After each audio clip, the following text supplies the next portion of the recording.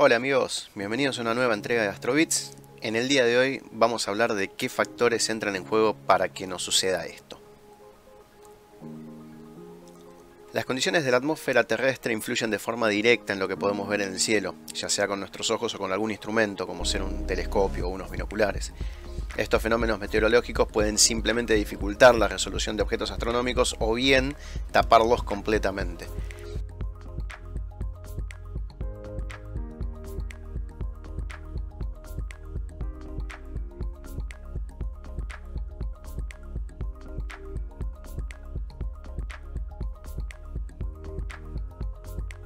La formación de nubes es un caso clásico de esta situación. En el timelapse que les mostré al comienzo del video se puede apreciar claramente el movimiento de la capa de nubes y cómo las estrellas tenues quedan completamente ocultas, mientras que solamente Sirio y Canopus son las que se pueden visualizar a simple vista. En este otro video se ve exactamente la misma situación con el desplazamiento de la capa de nubes.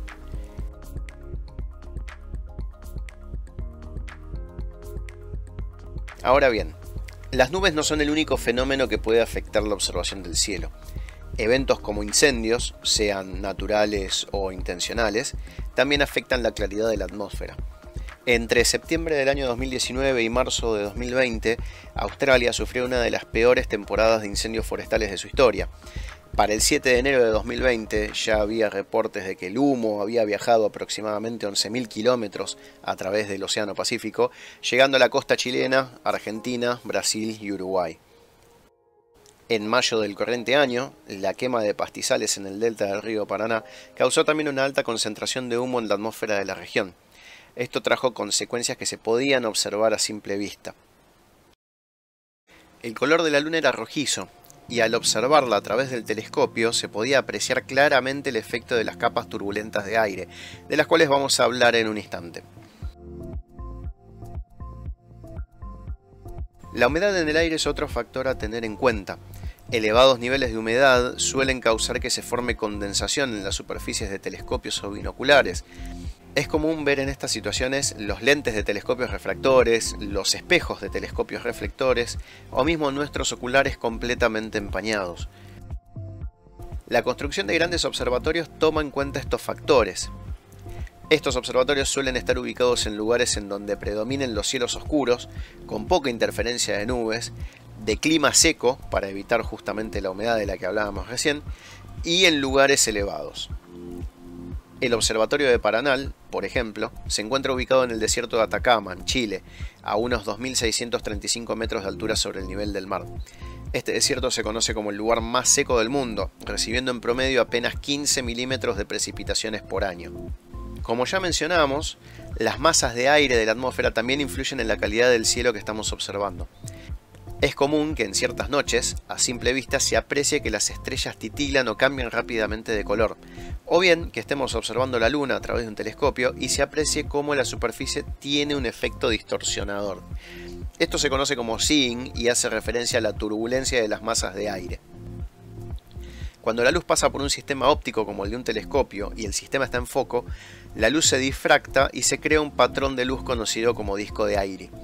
Debido al efecto distorsionador causado por las masas de aire turbulentas, ese patrón se deforma, por lo que en condiciones de mal seeing no se llega a resolver de forma correcta la forma o los detalles del objeto observado. Todos estos motivos nos llevan a sacar como conclusión que es de suma importancia asegurarnos que cuando vayamos a realizar observación astronómica nos aseguremos de hacerlo con las mejores condiciones atmosféricas posibles. Ahora, ¿cómo podemos hacer para saber si es una buena noche para observar? A simple vista basta con mirar el cielo y ver primero si hay cobertura de nubes o no, si hay humedad y si las estrellas titilan. Identificar uno de estos tres fenómenos que acabamos de mencionar nos va a dar la pauta de que estamos ante una noche que no tiene las condiciones favorables de las que hablábamos recién. Una alternativa es utilizar aplicaciones para chequear las condiciones climáticas o bien utilizar aplicaciones orientadas específicamente a determinar cuándo la atmósfera está en buenas condiciones para observar. En este último punto vamos a hablar de tres aplicaciones que yo utilizo regularmente. La primera se llama Clear Outside. Es bastante completa en este sentido, ya que en una sola pantalla nos indica varios datos importantes. La cobertura total de nubes, la separación de esa cobertura en capas altas, medias o bajas, la visibilidad, la probabilidad de lluvia, la dirección y velocidad del viento, y el nivel de humedad y el punto de rocío. Otra de las aplicaciones que utilizo se llama Good to Stargaze. En principio nos brinda datos similares, pero con una interfaz que es más fácil de leer. Codificada con colores, rojo para malo, amarillo para regular y verde para bueno.